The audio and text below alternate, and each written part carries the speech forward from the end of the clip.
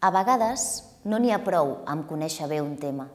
A vegades hem de saber anar més enllà, hem de saber generar idees. Idees que ens permetin elaborar el nostre discurs, que ens ajudin a transmetre un bon pensament.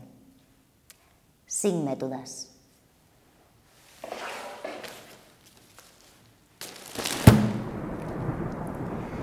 La pluja d'idees ens ajuda a treure tot allò que ens bull al cap.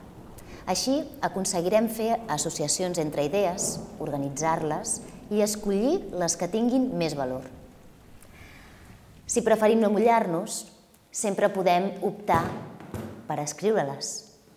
L'escriptura automàtica també ens ajudarà a dir tot el que pensem. I també haureu de seleccionar allò que us sembli més interessant. Totes dues estratègies ens ajudaran a generar noves idees.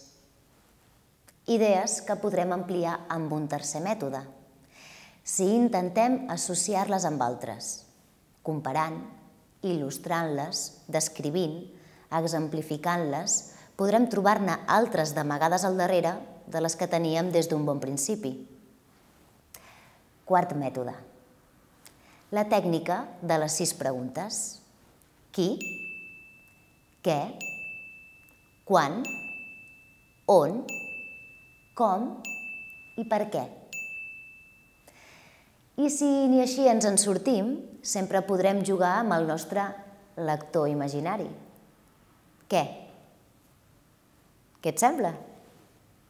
Com ho faig? Sí, sí. És importantíssim explicar-los.